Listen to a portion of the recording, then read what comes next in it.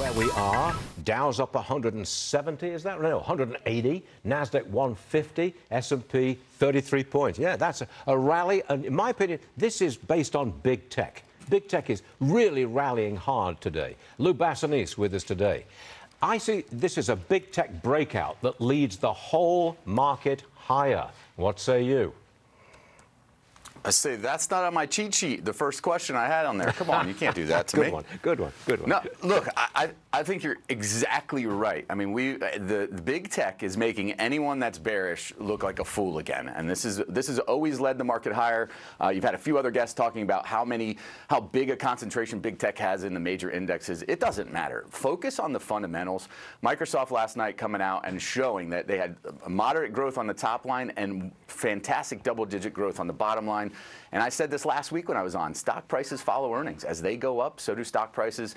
Uh, admittedly, I missed this move. If you remember last quarter, we were talking about Microsoft's uh, report, and I was looking for a pullback maybe to 200. We missed it. The stock's just gone on uh, into rally mode. Um, I still think there's room to run for Microsoft. If you look at the historical valuation ranges, it could go as high as $380 if we hit its peak uh, PE valuation. So a lot of room to run there. I'd say the one thing I'm waiting for is I'm looking for the laggards, Amazon and Alphabet, to really pull pull this rally and make it into a, a sustainable one. They are trading at really low valuations, and in the last year, they've pretty much been flat. Amazon's actually down about 20% over the last year.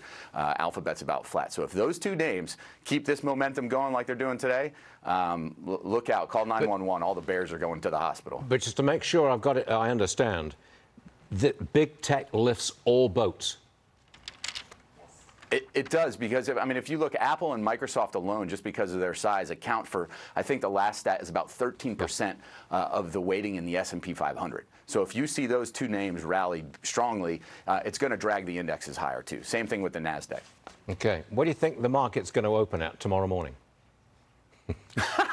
that wasn't on your cheat sheet, I know, and I was, I'm trying no, to surprise you. No, that's definitely not on my cheat sheet. Look, I'm not a day trader. I just follow the trajectory. I think it's going to be higher from here as long as Amazon reports strong results. I think that the possible risk is Amazon indicating last quarter, remember they said uh, cloud growth was strong, but they had seen consumers shift their buying behaviors, particularly in Europe. If we see that transcend over to the United States, that dovetails with the reports from Walmart saying that they were seeing some cost cutting there too.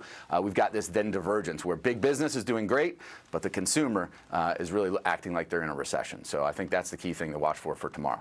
You handled these unscripted questions remarkably well, Lou. Uh, congratulations to you, lad. And I'm sure we'll see you again Thanks. real soon.